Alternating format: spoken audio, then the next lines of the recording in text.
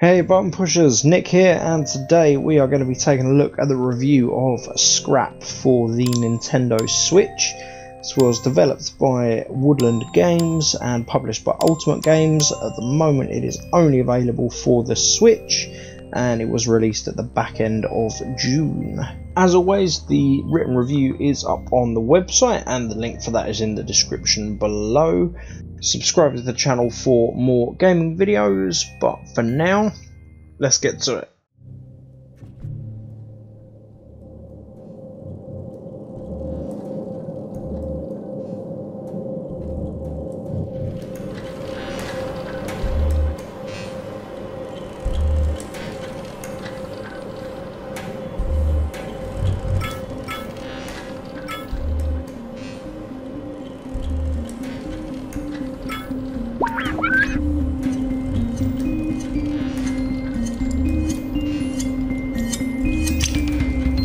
Now, the concept of scrap is about as simplistic as you could possibly hope to ever get without actually not having a story at all.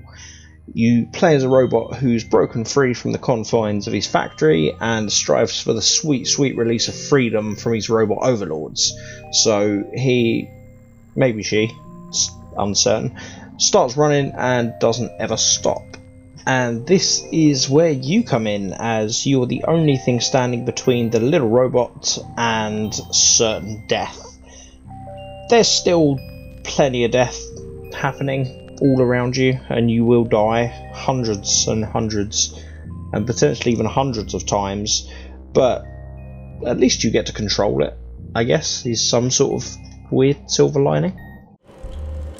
The game is split over three different areas. Uh, there's a factory, Steamworks, which may as well just be a green factory, and a junkyard. And each of these areas have 10 different levels to run through, plus a bonus level, but more on the bonus levels in a little bit. All of the levels are littered with traps waiting to make you ungracefully explode into a dozen different pieces, so you'll need to avoid spikes, lasers, different shaped guard robots, and massive holes in the ground while trying to reach the end of the level alive. The complication here, though, is that you have no control over the actual movement of the robot. It's constantly moving forward whether you're ready or not and all you can do is jump, double jump, or drop down to the lower level. So, absolutely everything you do comes down to timing, and you need to try and get your limited movement spot on if you want to survive. This is especially true later on in the game when you move a lot faster and the traps are a whole lot more plentiful.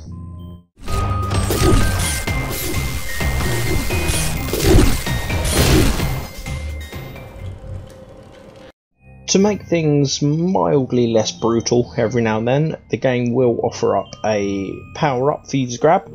They only last a certain amount of time and they offer up a few different perks. There's some that give you a shield that will allow you to take an extra hit without dying.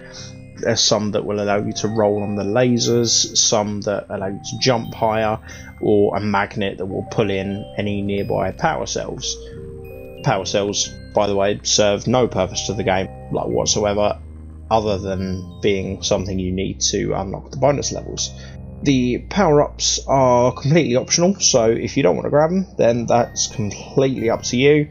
Um, all they do is open up a different path, but there's normally a few different paths through the levels, so it doesn't really matter.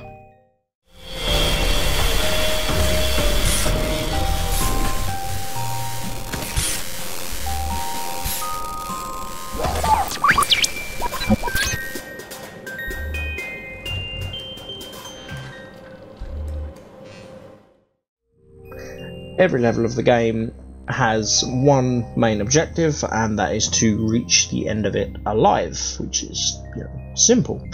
Uh, this is all you need to do to actually move the story forward and eventually complete the game, as massively underwhelming as completing the game actually is. However, if you want a little bit of extra challenge, then you can tackle the optional objectives that are offered up on each level Every level has three of them, and thankfully they stack, so you don't have to get them all in one run through if you don't want to. Pretty much every level has an objective of collect a certain number of power cells as well as don't die, that one being the real pain in the ass. But some of the others can revolve around jumping a certain number of times on a level or only taking an upper or lower path. If you manage to complete all of the optional objectives within an area, then you're rewarded with a bonus level.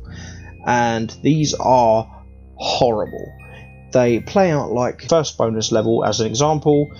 It's normal, you have to dodge all the obstacles and get to the end, except instead of being in the middle of the screen, the robot is on the right of the screen, which means you have far less time to react to everything and it just makes dying that much easier. But, you know, you finish it, you're proud, and you get a congratulations from the game and nothing else. Just nothing, nothing else.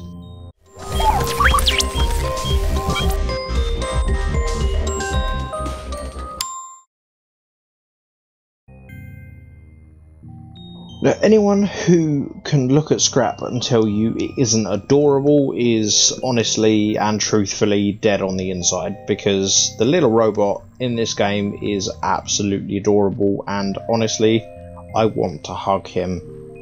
The uh, the junkyard area offers a nice little bit of difference to the scenery of the game um, as well, but the factory and the steamworks they're just a little bit samey, plus all of the obstacles and traps are more or less identical across all of the different levels, which seems like somewhat of a missed opportunity.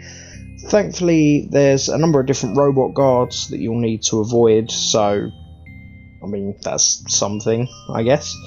Uh, it would have been nice to have something extra for getting through the game, like some new skins for the robot or something like that literally anything to help keep you motivated. There just there's there's just nothing the way it stands at the moment.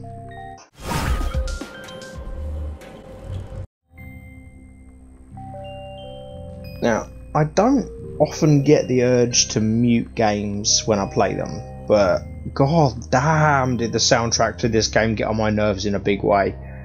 Uh, considering that the game tries as hard as it can to kill you over and over and over and over again.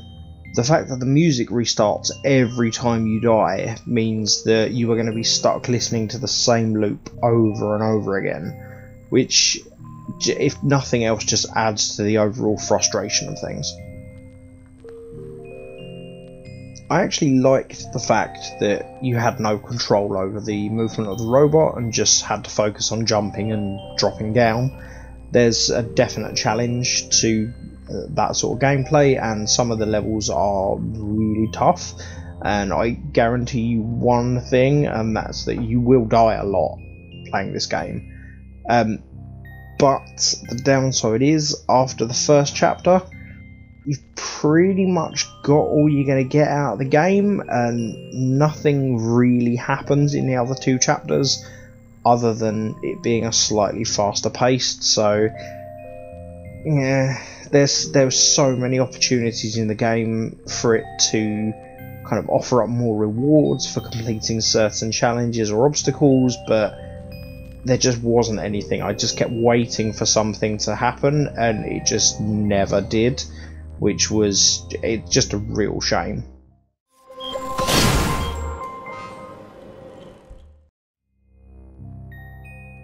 as a final summary, um, I absolutely love the idea of Scrap going into it. Um, the first chapter was really enjoyable, but there was this slow realization that I'd got everything I was going to get out of the game, and this was in the first 20 minutes of playing it, and that's just a sad realization there's so much potential to the game, but sadly it just ended up feeling massively hollow and ultimately very underwhelming. So that, ladies and gentlemen, is Scrap for the Nintendo Switch.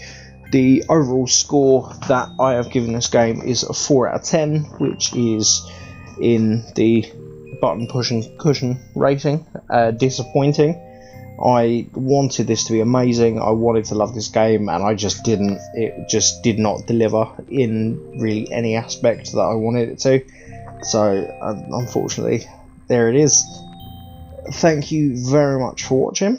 If you like the video, then hit the like button, subscribe for more gaming videos, and until next time, hear the music.